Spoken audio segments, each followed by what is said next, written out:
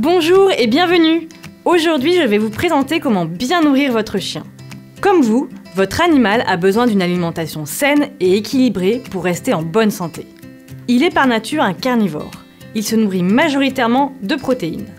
Les croquettes Veterinary HPM sont fabriquées avec des ingrédients de haute qualité permettant d'obtenir des aliments riches en protéines et pauvres en glucides. Les protéines animales sont le premier ingrédient. Elles proviennent de fournisseurs sélectionnés en Europe. Les croquettes Veterinary HPM sont fabriquées en France, sans blé ni maïs, sans colorant artificiel ajouté, sans arôme artificiel ajouté, sans bœuf, sans soja, sans produits laitiers, sans œufs et sans gluten de céréales.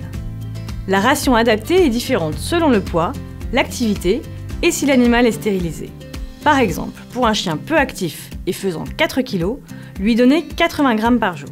Un tableau de rationnement est disponible sur les sacs de croquettes Veterinary HPM ou sur notre site internet fr.virbac.com. Il est recommandé l'utilisation du gobelet doseur Veterinary HPM afin d'avoir la quantité adaptée pour votre compagnon.